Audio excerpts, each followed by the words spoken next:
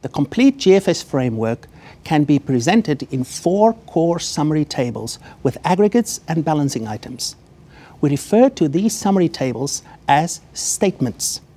The statement of operations provides a summary of all the transactions or operations along with the principal balancing items for transactions, the operating balance, and net lending, net borrowing. Thus, for government, the statement of operations indicate the effect of fiscal policy on government's net worth, government's demand for credit, and the impact of current period transactions on government's holdings of assets and liabilities. The statement of other economic flows provides a summary of the other economic flows in the form of revaluations and other volume changes, along with the principal balancing items for other economic flows. These are the changes in net worth due to revaluations and other volume changes, and the changes in net financial worth due to revaluations and other volume changes.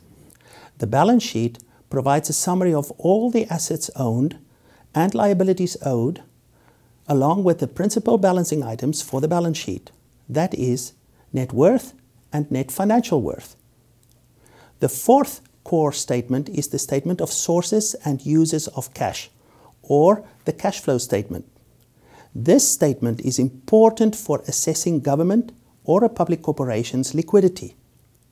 It shows the total amount of cash generated or absorbed by current operating activities, transactions in non-financial assets, that is, investment activities on a cash basis, and financing activities on a cash basis.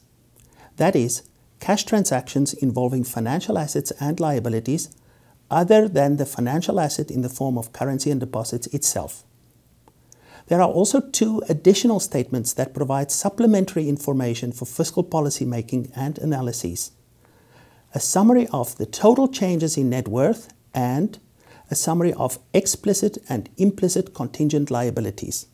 These six statements are the core tools summarizing the results of management and policy decisions in the various parts of the public sector, the financial soundness of the various parts of the public sector in ways commonly applied to other sectors of the economy, the sustainability of policy decisions of government or a public corporation over the long term, and the liquidity and financing constraints of government or a public corporation over the short term.